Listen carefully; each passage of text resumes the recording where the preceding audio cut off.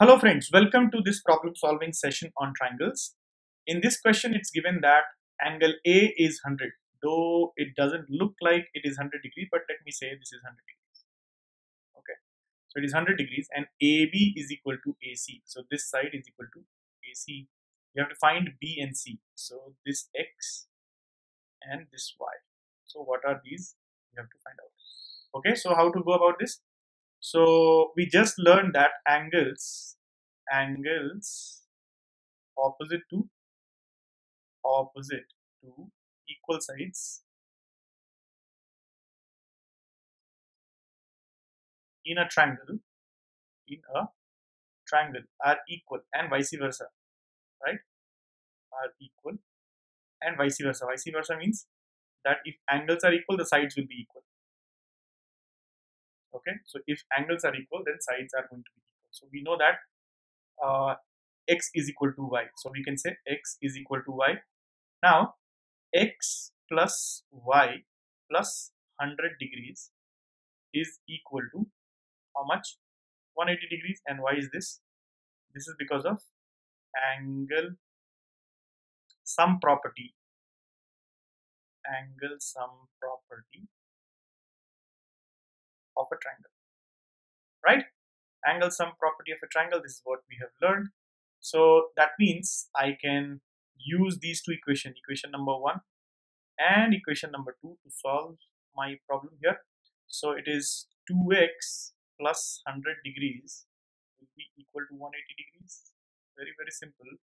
So 2x will be equal to how much? 180 minus 100 clear? 180 degrees minus 100 degrees so this is nothing but 80 degrees. Right? 80 degrees. So hence x will be simply 80 degrees by 2 hence 40 degrees. So we have proved or you have found out that x and y both are equal to 40 right? So hence angle b is equal to angle c is equal to 40 right? So I hope you understood. So here we have we have used two concepts. One is this, the concept that angles opposite to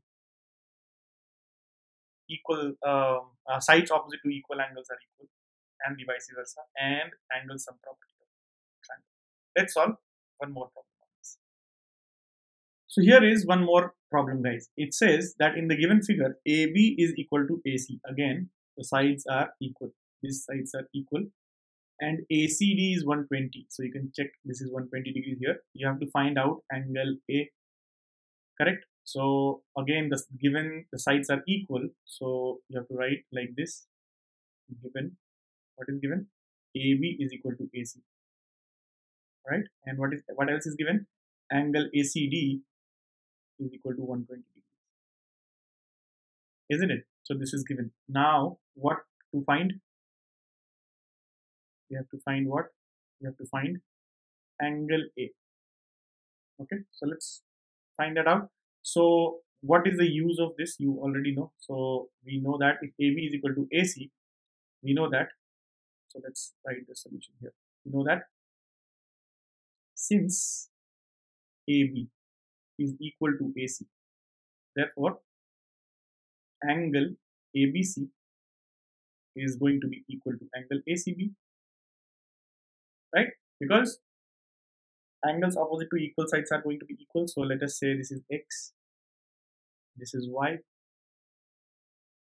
right? And in fact if it is x this is x itself. So I can write this as simply as x is it? This is x. Now so I can write it here now.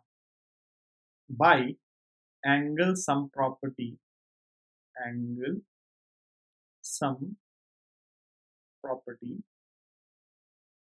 property angle sum property of a triangle. What can I say? By angle sum property of a triangle. X plus x plus angle a. Okay this is plus plus. So x plus x plus angle a is 180 degree. Isn't it? By angle sum property of the triangle. So hence 2x um, also we also have one more relationship. Angle x plus angle a is 120 degrees. And why is that? This is exterior angle property isn't it? So exterior angle is equal to sum of sum of what? Interior opposite angles. I'm writing in short. Right? So hence i can find out these two relations are there. Now let's yeah. So first of all let's simplify this one. So we can write this equation here as 2x plus angle a is equal to 180 degrees. Okay and now can I not write it here? So let me write from this equation. Which equation?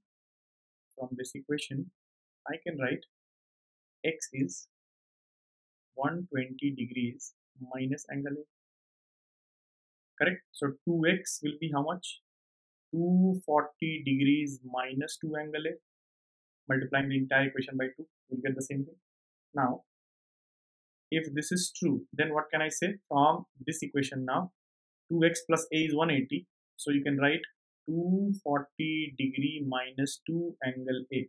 Here this one plus this angle a plus angle a is 180 degrees right i'm using this equation now so from here you will get uh, angle a is equal to 60 degree guys 60 degree so angle A comes out to be 60 degrees. In fact, if angle A is 60 degrees, if this is 60, and x and x are also these are angle B is equal to angle C, so x also is 60 degree. You can calculate, and this also will be 60.